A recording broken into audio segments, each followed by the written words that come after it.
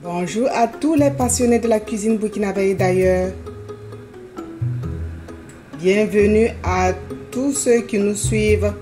Nous sommes heureux de vous retrouver encore pour une belle recette très pratique pour les temps de fête et aussi économique à faire.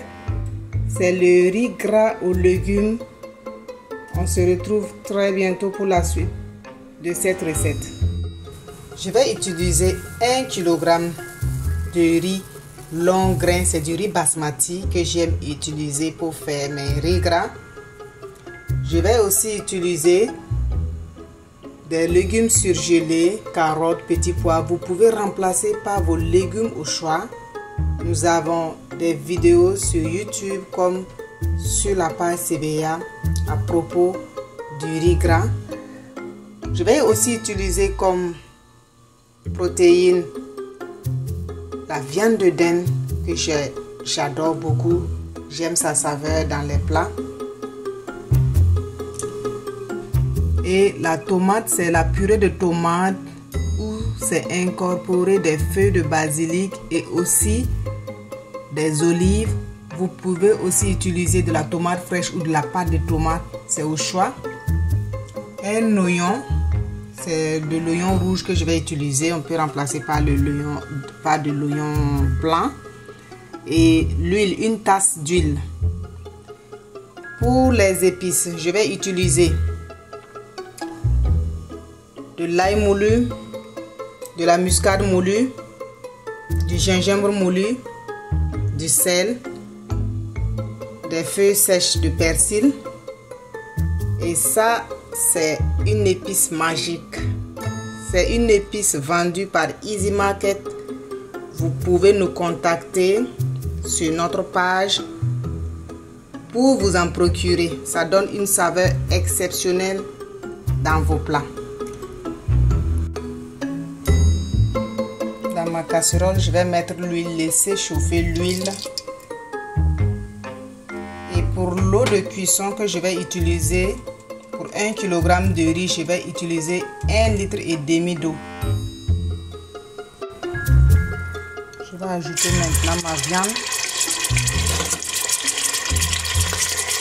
Vous pouvez remplacer par votre viande au choix. Hein. Voilà.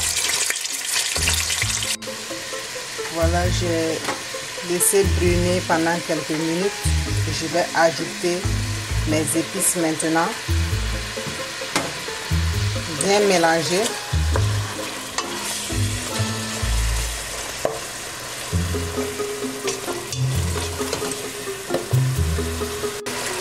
J'ai ajouté mes oignons découpés.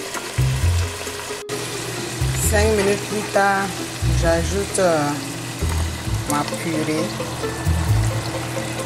de tomates et je laisse mijoter pendant deux petites minutes. Voilà.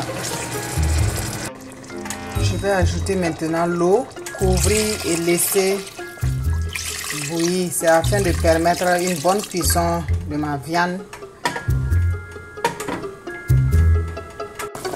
Et maintenant, je vais retirer les morceaux de viande et ajouter mon riz que j'ai préalablement passé à la vapeur. Vous pouvez, tout dépend de la variété de riz que vous utilisez pour faire votre riz gras. Mais l'idéal, c'est de passer le riz à la vapeur avant la cuisson. Et maintenant, je vais ajouter mon riz, diminuer le feu à moyen. Pour l'eau de cuisson, finalement, c'est un litre d'eau que j'ai mis avec une demi-tasse d'eau que j'ai ajoutée. Voilà, c'est pour permettre à la viande de bien cuire. Et c'est sûrement avec ces 1 litre de bouillon que j'ai mis mes 1 kg de riz. Et ça va faire une, donner une cuisson parfaite à la fin. Voilà. Je vais remuer, couvrir et laisser pendant quelques minutes et je reviens plus tard pour ajouter les légumes. D'abord, avant de mettre le riz, il faut vérifier vraiment l'assaisonnement.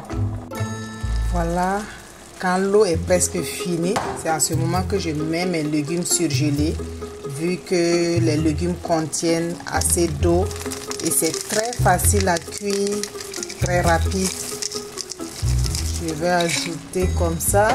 J'ai diminué le bouillon avant de mettre le riz parce que j'ai passé le riz à la vapeur. Au cas où on ne passe pas le riz à la vapeur, ça veut dire que la quantité d'eau sera modifiable encore. Voilà. Et tout dépend de la variété du riz et aussi de la qualité. Je vais ajouter le piment. Ouvrir euh, pendant 5 minutes. On aura le résultat très bientôt.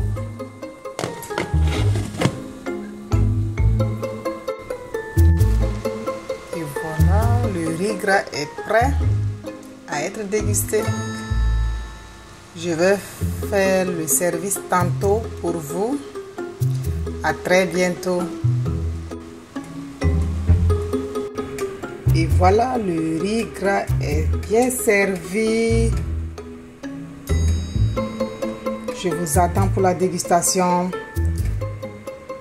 Si vous avez aimé ma vidéo, n'oubliez surtout pas de liker, d'envoyer des commentaires, de partager.